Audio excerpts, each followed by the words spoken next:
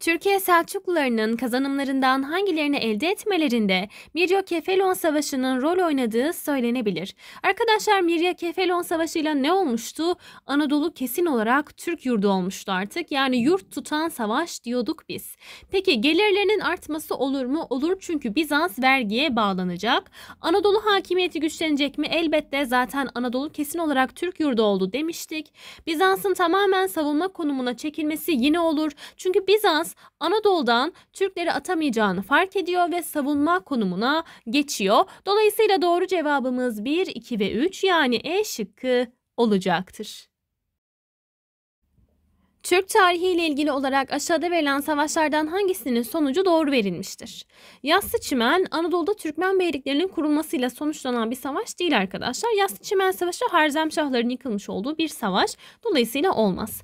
Köse Dağı Anadolu'nun Moğol istilasına açık hale gelmesine sebebiyet verecek. Çünkü Köse Dağı Savaşı zaten Moğollar ve Türkler arasında gerçekleşiyor.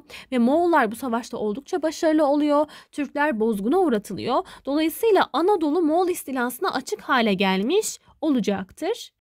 Mirya Kefelon Doğu Anadolu'daki Türk varlığının güçlenmesi değil, Mirya Kefelon'la birlikte Anadolu tamamen Türk yurdu haline gelecek. Doğu Anadolu'daki Türk varlığının güçlenmesi Pasinler ve Malazgirt'le olabilir arkadaşlar. Dolayısıyla olmaz. Pasinler Savaşı'yla e, Anadolu'nun kesin Türk yurdu olduğu tabii ki söylenemez. Mirya Kefelon'la birlikte Anadolu'nun kesin Türk yurdu olduğunu söyleyeceğiz. Dorlayan Savaşı ile birlikte de Türkiye Selçukları yıkılış sürecine girmeyecek arkadaşlar. Ee, Türkiye Selçuklarının yıkılış sürecine girdiği savaş zaten Köseda Savaşı olacak. Dolayısıyla doğru cevabımız B şıkkı olacaktır. Türkiye Selçuklu Devleti'nin faaliyetlerinden hangileri Türk İslam uygarlığını olumlu yönde etkilemiştir?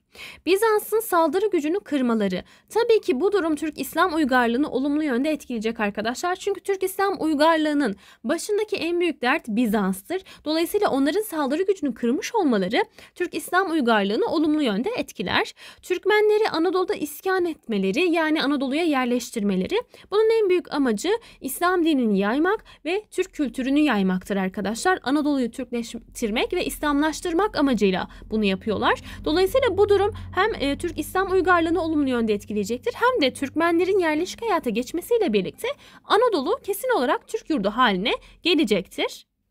Ticaret yollarının güvenliğini sağlamaları da yine Türk İslam uygarlığını elbette olumlu yönde etkileyecektir. Çünkü ticaret yolları e, Müslüman bir devletin elinde olursa e, daha güvenli bir şekilde ticaret yapılabilir. Bu durumda Türk İslam uygarlığını olumlu yönde etkiler. Dolayısıyla doğru cevabımız 1, 2 ve 3 yani E şıkkı olacaktır. Aşağıdaki olaylar ve bunların sonuçları arasındaki ilişki eşleştirmelerinden hangilerinde doğru olarak verilmiştir? Köse Dağı Savaşı sonucunda Moğolların Müslüman olmaya başlaması gibi bir durum tabii ki söz konusu değil arkadaşlar. Moğollar Anadolu'yu istila etmeye başlayacaklar Köse Dağı Savaşı'ndan sonra. Yani aslında Anadolu'daki Türk hakimiyeti zayıflayacak ve Moğollar etkin olmaya başlayacak diyebiliriz. Ancak onların Müslüman olmaya başlaması gibi bir durum söz konusu olmayacaktır. Babayiler isyanı Türkiye Selçuklularının zayıflamasına sebebiyet verecek arkadaşlar. Çünkü bu dini nitelikli bir ayaklanmaydı ve Türkiye Selçukluları bu ayaklanmayı zor bastıracak. Bu durumda onların zayıflamasına sebebiyet verecek. Haçlı seferleri sonucunda da Çin kaynaklı buluşlar Avrupa'ya taşınacak arkadaşlar. Dolayısıyla doğru cevabımız 2 ve 3 yani D şıkkı olacaktır. Aşağıdaki Türk İslam devletlerinden hangisinin yıkılması İlhanlıların Anadolu'yu işgal etmesini kolaylaştırmıştır? Yani İlhanlı Moğollar arkadaşlar. Şimdi Harzemşah Devleti Anadolu ve Moğollar arasındaki bir tampon bölgeydi. Dolayısıyla Harzemşahların ortadan kalkmış olması İlhanlıların Anadolu'yu işgal etmesine kapı açmış olacak aslında arkadaşlar. Moğol saldırılarına açık hale gelmiş olacak. Dolayısıyla doğru cevabımız D şıkkı Harzemşahlar olacaktır. Türkiye tarihi ile ilgili olaylarının kronolojik sırası aşağıdakilerden hangisinde doğru olarak verilmiştir? Yassı Çimen Savaşı 1230 yılında Harzemşahlar ve Türkiye Selçukları arasında gerçekleşiyor. Baba İshak ayaklanması ise hem dini hem toplumsal nitelikli bir ayaklanmadır arkadaşlar. 1239-40 yılları arasında gerçekleşiyor. Köse Dağ Savaşı ise 1243 yılında gerçekleşecek. Dolayısıyla sıralamamız 1, 2 ve 3 şeklinde olacak. Bu yüzden doğru cevabımız A şıkkı olacaktır.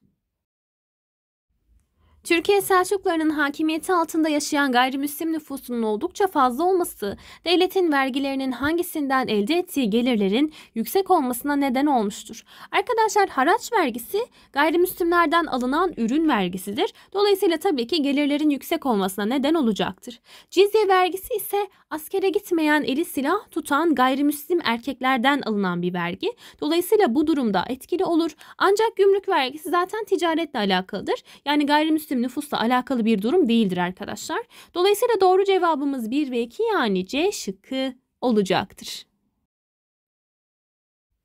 Türkiye Selçuklarında ve Beylikler döneminde din, bilim ve hukuk alanlarında iyi yetişmiş insan gücünü karşılamak için aşağıdaki yollardan hangisine başvurulmuştur? Arkadaşlar daha çok tabii ki eğitime başvuracaklar. Din, bilim ve hukuk alanında yetişmiş insana ihtiyaç duyduklarından dolayı eğitime önem verecekler ve medrese eğitimini yaygınlaştıracaklar. Devşirme sistemi Türkiye Selçukları ve Beylikler döneminde değil Osmanlı döneminde görülen bir sistemdir. Dolayısıyla olmaz. Ahi teşkilatı daha çok esnaf teşkilatı teşkilatıdır. Yine bu durumla bir alakası yoktur. İdari alan ve vakıf sistemiyle de bu durumun bir alakası olmayacaktır arkadaşlar. Dolayısıyla doğru cevabımız A şıkkı olacaktır. Moğollar karşısında Türkiye Selçukluları ile birlikte hareket ederek aynı Calut Savaşı'nda Moğolları bozguna uğratan Türk devleti aşağıdakilerden hangisidir? Arkadaşlar tabii ki Memlüklerdir. Sultan Baybars döneminde e, büyük bir zafer elde edilmiştir. Hatta Moğolları yenebilen Türk İslam tarihindeki tek devlet de Memlükler olacak. Dolayısıyla doğru cevabımız A şıkkı olacaktır. Köse Dağı Savaşı'nın sonuçlarından hangileri Türkiye Selçuklularının Anadolu'da siyasal hakimiyetlerinin zayıfladığını kanıtlamaktadır? Batı Anadolu'da Türkmen beyliklerinin kurulması. Demek ki arkadaşlar Türkiye Selçuklu Devleti siyasal olarak zayıflamış ki bu şekilde Türkmen beylikleri ortaya çıkmış ve siyasi otorite e, zayıflamış diyebiliriz. Moğolların Selçukları vergiye bağlaması da onların yine siyasal olarak zayıfladığını bize gösterecektir.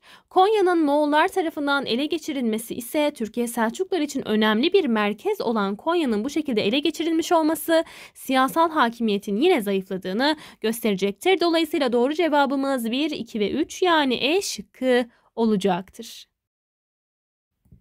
Yukarıda özellikleri verilen Türk İslam Devleti aşağıdakilerden hangisidir?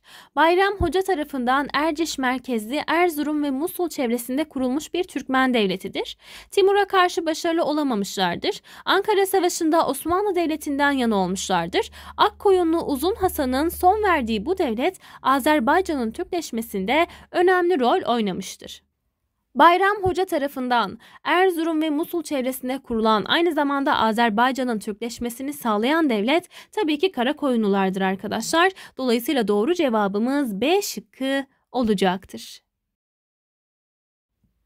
Yukarıda özellikleri verilen Türk İslam Devleti aşağıdakilerden hangisidir? Timur'a verdiği destek karşılığında Malatya ve Diyarbakır'ı alan Oğuzların Bayındır boyundan Karayülük Osman Bey tarafından kurulmuştur. Uzun Hasan döneminde güçlenmişler, 1469'da Karakoyunlulara son vererek devletin merkezini Diyarbakır'dan Tebriz'e taşımışlardır. 1473 Otlukbeli Savaşı'nda Osmanlılara mağlup olarak yıkılış sürecine girmişlerdir. Arkadaşlar özellikle Uzun Hasan döneminde güçlenmelerinden ve Otlukbeli Savaşı'nda Osmanlılara mağlup olmalarından e, bu devletin hangi devlet olduğunu çıkarmamız gerekiyor. Burada bahsedilen tabii ki Akkoyunlular olacak. Bu yüzden doğru cevabımız A şıkkı olacaktır. Yukarıdakilerden hangilerinin Sivas'ta hüküm sürdüğü söylenebilir. Arkadaşlar Danişmentler ve Eretna Devleti Sivas'ta hüküm sürdü. Ancak Artuklar daha çok Mardin, Harput taraflarında hüküm sürmüştür. Dolayısıyla doğru cevabımız 1 ve 3 yani C şıkkı olacaktır. Yukarıdakilerden hangilerinin Doğu Anadolu'da hüküm sürdüğü söylenebilir. Arkadaşlar Akkoyunlular ve Karakoyunlular Doğu Anadolu'da hüküm sürmüştür. Ancak Menteşe oğulları Beyliği daha çok Güneybatı Anadolu'da, Muğla taraflarında hüküm sürecek. Dolayısıyla doğru cevabımız 1 ve 2 yani C şıkkı olacaktır. Yukarıda verilen Türk İslam devletlerinden hangilerinde Türkçe resmi dil olarak kullanılmıştır? Arkadaşlar Memlükler ve Karahanlılar Türkçeyi resmi dil olarak kullanacak ancak Türkiye Selçuklularının resmi dili Farsçadır. Dolayısıyla doğru cevabımız 1 ve 2 yani C şıkkı olacaktır.